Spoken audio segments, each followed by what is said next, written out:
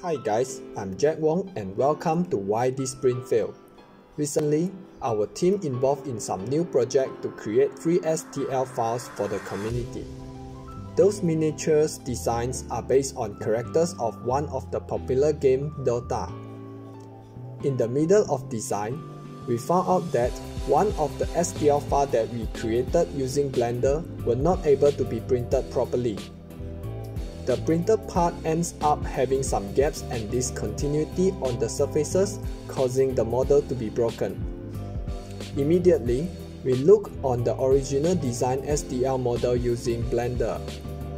The STL model seems to appear nicely on it. Next, we re-import the STL model into the slicer Cura. This time, we found out few unusual spots on the Cura interface certain parts of the STL model are being highlighted in red. Normally, the highlighted red color in our Cura settings indicate face down parts that require supports. However, those unusual red spots seems to be on the face up or at least spots that logically doesn't require any support.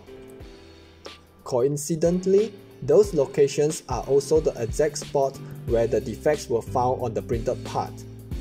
Thus, today we are going to share about the root cause of this failure as well as a very simple solution for it.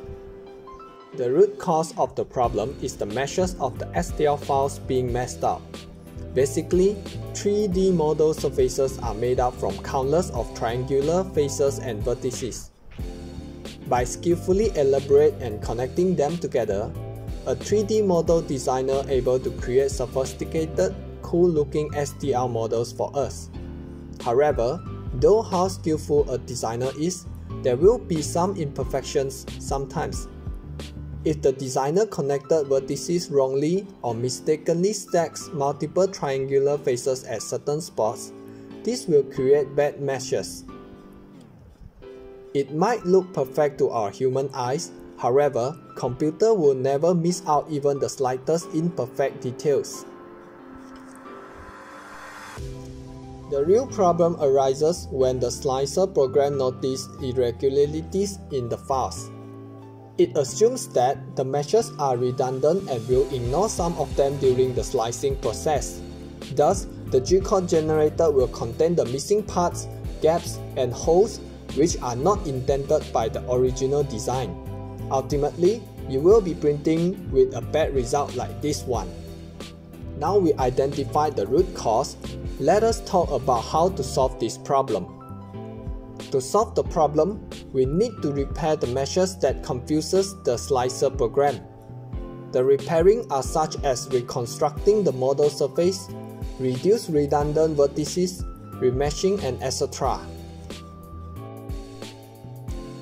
Through some online research, we found out that there are plenty of free downloadable software that could solve the problem. However, most of those applications will require at least a little background knowledge on how to utilize them.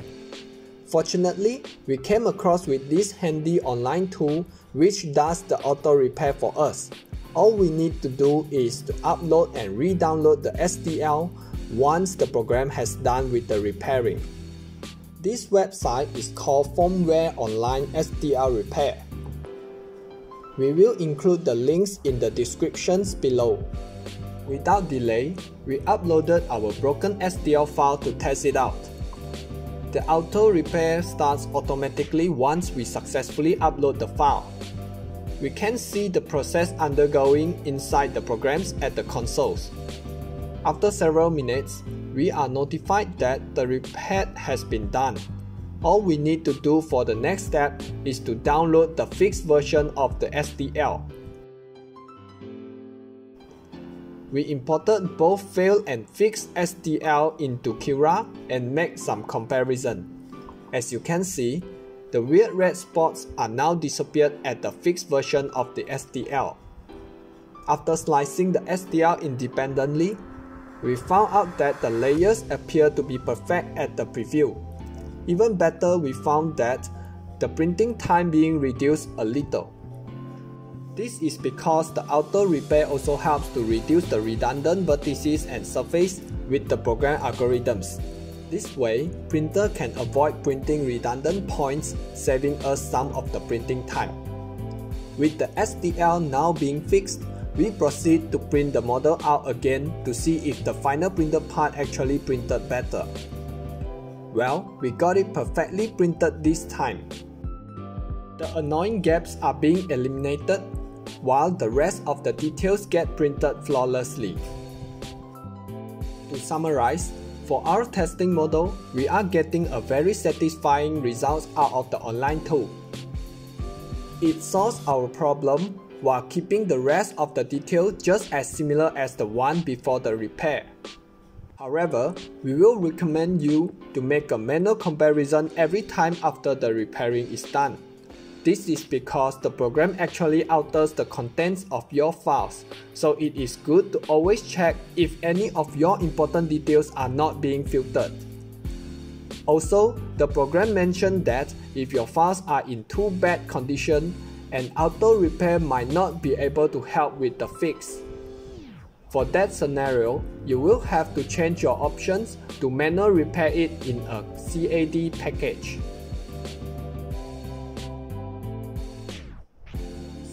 This will be the end of the video. We hope that our video helped to solve your printing problem too. If you think that this video is helpful, please like, subscribe and share it to your friends. You might be a hero to save them from broken STL too. As always, thanks and happy printing!